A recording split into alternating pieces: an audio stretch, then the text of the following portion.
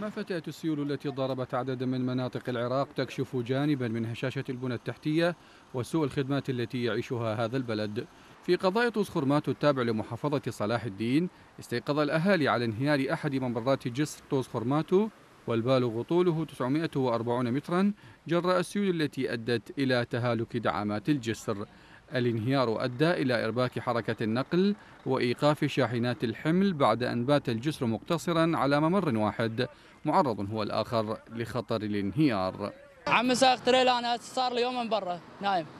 والله العظيم بالانجانه سادين طريقة سدوزه عم افتح الحولي خليه يروح العالم. سوي الحولي عندك شوفلات عندك قلابات خليه قايم قايم خليه يسوي لنا حل شغله هذا الشغل يتأخر. هذا الشغل هذا الجسر بعد انساها ما يسوونه. وين؟ حكومة عنده فلوس؟ حكومة هو جاي بالشوارع ياخذون فلوس من عندنا.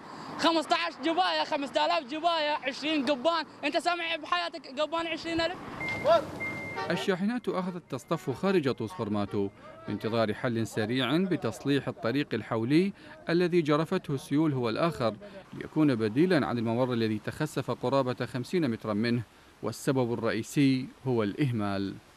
الأهالي أبدوا خشيتهم من أن تستغرق عملية الإصلاح وقتا طويلا كما تعودوا على ذلك مما قد يطيل عمر المعاناة.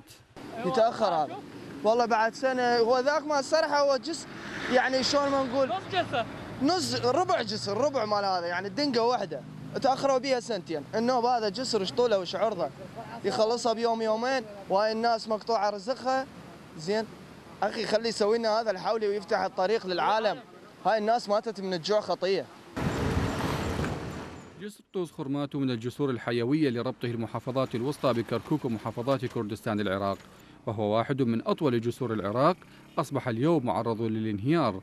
أمر إن حدث فإنه يعني قطع الطريق الرئيسي بين بغداد كركوك وبالتالي معاناة أخرى لساكني تلك المناطق وأصحاب المصالح الذين يسلكون هذا الطريق المهم يومياً.